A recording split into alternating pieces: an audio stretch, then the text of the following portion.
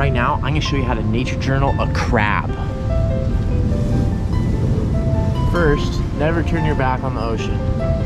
Next, find a crab.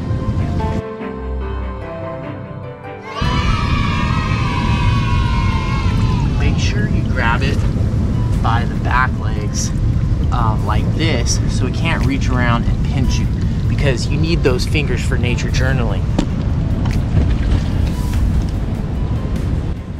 Now get into a slightly better position for nature journaling. It's good if you get your page all ready to go before you have a big crab in one hand, but in this case I didn't. So another reason to have a nature journaling kit that's really easy to set up and get ready to go because you might have a crab in one hand and not be able to use two hands where you might have your watercolor palette in one hand, for example. So it's good if you can do this stuff with one hand. And keep one eye on the crab's claws at all times.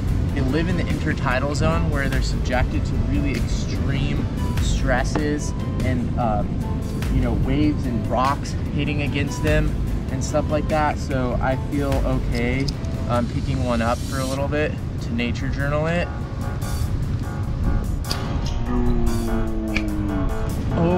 Just I just launched one of my bulldog clips into the tide pool. So that's a good example of something not working completely perfectly with um, one hand. All right, now I'm in position and I'm gonna get some quick sketches in first of the things that I can't usually see if I'm not holding the crab.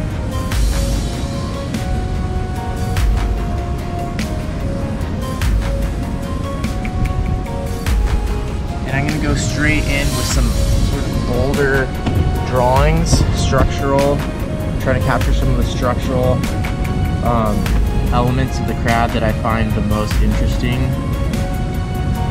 The front might be interesting to look at while you have the live crab here or the behavior.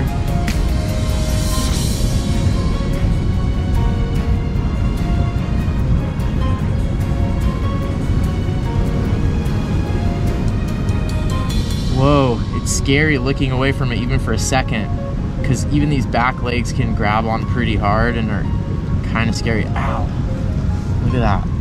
This one looks to me like a female. It's trying to pull my hands up to the front where it can get them with the claws.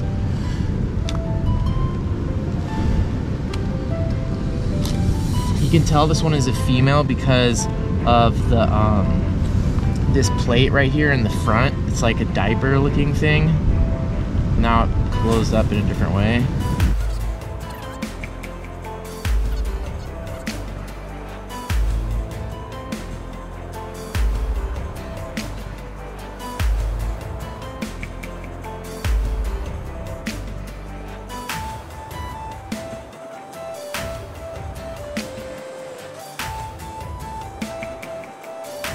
Okay, so my legs are starting to get kind of tired in this weird crouching position. I should be doing more nature journaling calisthenics.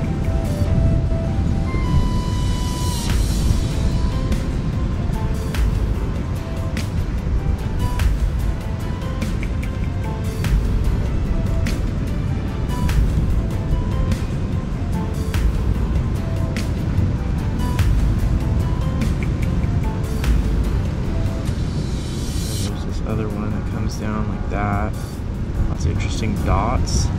So be prepared to do um, stuff fast if you're especially if you're holding a live animal and you need to be thinking about that um, thing potentially um, pinching you at any moment. Um, you can also take photos, of course, um, but there is definitely something to be said for nature journaling a crab um, that is alive in your hand. Uh, whoa, scared me. Uh, and doing it live. Um, here's some sketches I got. Um, yeah, you know, working straight with ink, all of those things. Oh wow, I'm, I wonder if it's reacting to me talking because it's suddenly starting to move around a lot more. All of those things are gonna be um, important for nature journaling a crab. Um, you could also have a small enclosure, like that little um, ter uh, terrarium thing that I take uh, nature journaling on the tide pools. If I had that today, I could put this in there and easily nature journal it for a lot longer. So I'm really wishing I had that, but that's how you nature journal a crab in your hand, in case you were wondering.